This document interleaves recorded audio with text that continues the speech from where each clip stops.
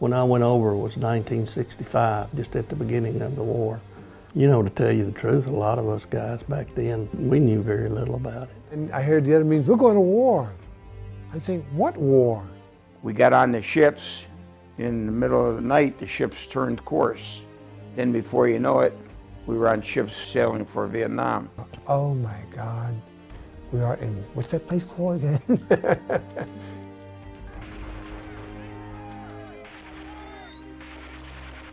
Operation Starlite was the first major battle and regimental-sized clash between U.S. and enemy forces during the Vietnam War.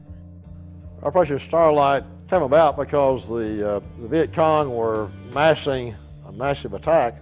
General Walt, I believe, decided to attack them rather than let them attack us. At sunrise the next morning, choppers came in, and picked us up. H Company landed in the CP of the Viet Cong, the command post. All you saw was explosions and people shooting. Next thing you know, I mean, we were taking casualties right and left. My squad was no sooner off the chopper. One of my guys fell down. I went over and picked him up, and he was hit through the shoulder by a 50 and blew out his side, and he died in my arms. I was helping load the wounded, and uh, then I got hit, and they took me back to the LZ. By then, half our company was already already gone. I was fighting so many guys, I didn't know how I was alive. And I, I can't believe that I, that I killed as many of them as I did, you know? Just can't believe it.